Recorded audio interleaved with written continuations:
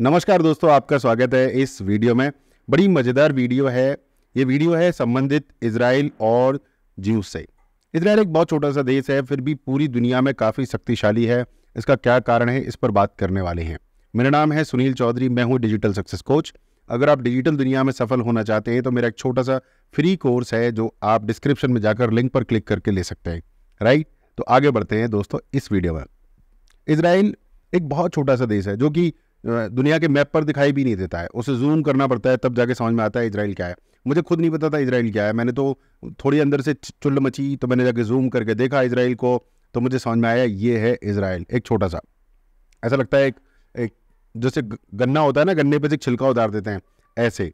पूरी दुनिया का एक छिलका टाइप का है इसराइल इतना छोटा देश है इसराइल बट जीव जो है, यहूदी यहूदी लोग हैं, पूरी दुनिया पर राज कर रहे हैं, और ये बात मुझे भी नहीं पता थी। तो मैंने सोचा, अगर मुझे नहीं पता थी तो मैं आपको भी बता दूँ। Right so it is very very important कि पूरी दुनिया पर यहूदियों का क्या राज है, ये आपको इस वीडियो के माध्यम से पता चलेगा। अगर आपको वीडियो लगे, कुछ भी लगे, नया चीज़ अच्छी लगे तो कमेंट करके ज़रूर बताना। राइट बिल्कुल सिंपल भाषा में ये वीडियो। तो Israel is a small country, बहुत छोटा देश है इसराइल बट ज्यूज यहूदी लोग पूरी दुनिया पर राज कर रहे हैं। तो यहाँ पर मैं लिस्ट लेकर आया हूँ आपके लिए। उन यहूदियों की, उन ज्यूज की जो पूरी दुनिया पर एक स्ट्रॉन्ग इन्फ्लुएंस रखते हैं स्ट्रॉन्ग पोजीशन उनकी रखती है। अब आपको ये भी पता होगा कि जैसे ही इसराइल का और गाजा पट्टी फलस्तीन का जो युद्ध शुरू हुआ है, इसमें अमेरिका के दो बड़े जहाज़ आ चुके हैं और जो समुद्र में खड़े हैं, एक भूमध्य सागर में खड़ा है और एक इधर सऊदी अरब के पास जो सागर है, उसमें भी जहाज़ खड़ा है। राइट? तो आपको पता है। अब आप ये सोच सकते हैं कि अमेरिका ने इतने बड़े दो जंगी जहाज़, वॉर जो शिप्स हैं, वो यहाँ पर क्यों भेज दिए हैं? ऐसा इसराइल का वो भला क्यों करने की सोचेगा? वो अमेरिका इतने अपने आप में एक बहुत बड़ा देश है, उसको क्या चुल्ल मची कि वो इसराइल जैसे छोटे देश की इतनी हेल्प करने के लिए तैयार हो जाए? और सिर्फ़ अमेरिका नहीं, यूरोप के बहुत बड़े बड़े प्रोग्रेसिव कंट्रीज़ या फिर पूरी दुनिया के प्रोग्रेसिव कंट्रीज़ इसराइल के साथ खड़े हैं। उसका रीजन क्या है?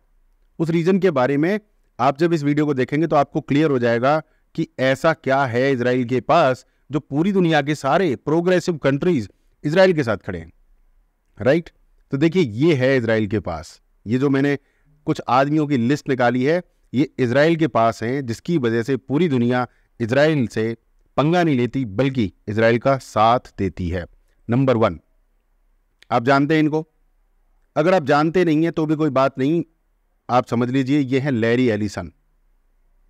बहुत बड़े एंटरप्रेन्योर हैं। ऑरेकल कंपनी का नाम सुना होगा आपने, उसके मालिक है।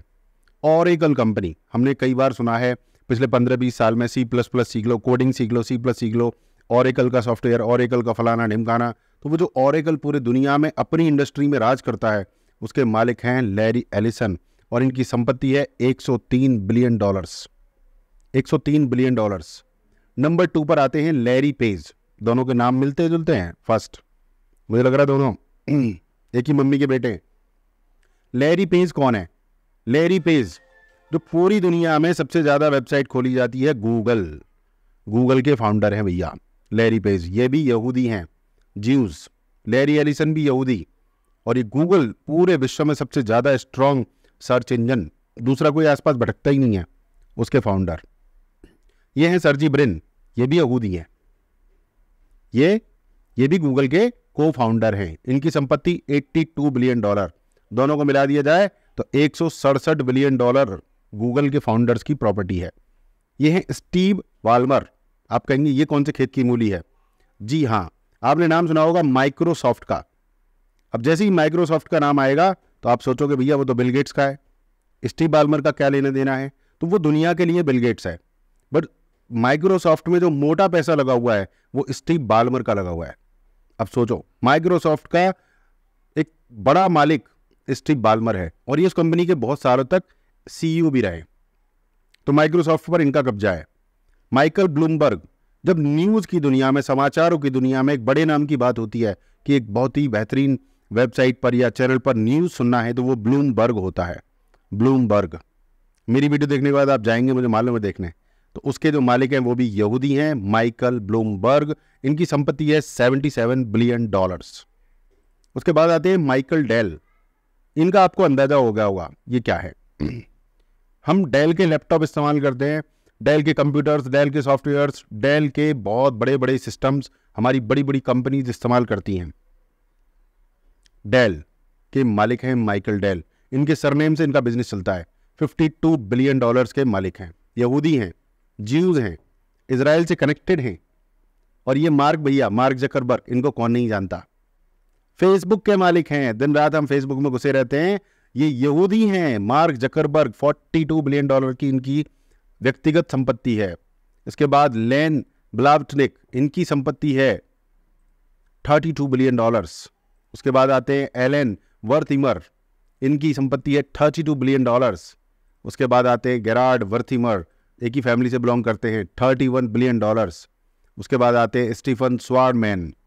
इनकी संपत्ति है 30 बिलियन डॉलर्स ये लोग दुनिया के अलग अलग कोने में बैठ के बड़ा बिज़नेस कर रहे हैं। अब देखो गूगल फेसबुक डेल अमेरिका में बैठकर बिज़नेस करते हैं। यानी अमेरिका की बहुत बड़ी इकोनॉमी के ऊपर इनका कब्जा है। अब अमेरिका इनकी बात नहीं सुनेगा, अपने जंगी जहाज़ नहीं भेजेगा तो ये क्या कहेंगे? कि हम अमेरिका से उठ के किसी और देश में बैठ जाएँगे? हम तो इंडिया में बैठ जाएँगे, अफ्रीका में बैठ जाएँगे, हम तो इसराइल में बैठ जाएँगे। तो तुम्हारी जो इकोनॉमी को फ़ायदा हो रहा है ना हमसे बेटा, वो तुम्हारा इकोनॉमी का इंजन जो है हिल जाएगा। राइट?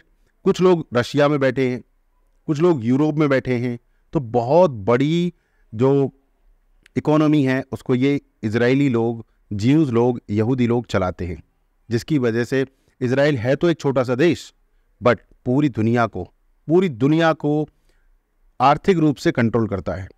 इसराइल देश में जो इनोवेशन होती है, जो आविष्कार होते हैं, वो नेक्स्ट लेवल के होते हैं। आजकल पूरी दुनिया में एक हल्ला चलता है चिप चिप एक चिप जो होती है सॉफ्टवेयर के अंदर, जो लेटेस्ट चिप है। इंटेल के प्रोसेसर हो, फलाना निमकाना कुछ भी हो, उसके अंदर जो लेटेस्ट चिप है, वो इसराइल की है। लेटेस्ट एग्रीकल्चर के जो मेथड हैं, वो इसराइल के हैं। लेटेस्ट जो वेपन्स हैं, बनाने की जो तकनीक है, वो इसराइल की है। इसकी वजह से इसराइल बहुत ज़्यादा मज़बूत है। हमारे देश की जनसंख्या, भारत देश की जनसंख्या 140 करोड़ से ज़्यादा है। इनके यहाँ की जनसंख्या एक करोड़ से भी कम है। हमारे यहाँ की इकोनॉमी सवा तीन ट्रिलियन डॉलर है। इनके यहाँ की इकोनॉमी सवा ट्रिलियन डॉलर है। यानी ये हमसे 140 गुना कम है और इनकी जो इकोनॉमी है, बस हमसे तीन गुना कम है, बस। यानी हम इनसे सिर्फ़ तीन गुना ज़्यादा है पैसे के मामले में। और हमारे पास लोग कितने ज़्यादा है? 140 इनकी भूमि बहुत कम है, बीस हज़ार हेक्टेयर हमारी कितनी है? बत्तीस लाख हेक्टेयर तब भी इनके यहाँ ज़्यादा पैदावार होती है, इनके यहाँ ज़्यादा सभी लोग नई टेक्नोलॉजी से खान पान करते हैं और हमारे यहाँ तब भी लोग भुखमरी से मरते हैं। तो दोस्तों ये थी एक छोटी सी वीडियो जहाँ से मैंने आपको कोशिश की, जो इन्फॉर्मेशन मुझे मिली पिछले सात आठ दिनों में। मैं देख रहा हूँ, मैंने सोचा आपके साथ भी शेयर की जाए। अगर आपको अच्छी लगी हो तो प्लीज़ कमेंट करके बताइएगा कौन सी बात आपको एकदम नहीं पता चली है। शेयर कर दीजिएगा वीडियो को और डिजिटल मार्केटिंग कोर्स अगर आप ज्वाइन करना चाहते हैं तो आप हमारे करियर बिल्डिंग स्कूल से जुड़कर एक कोर्स है, जिसे आप छः हज़ार रुपये में ज्वाइन कर सकते हैं लाइफ टाइम मेंबरशिप के साथ। राइट नमस्कार, जय हिंद, जय भारत।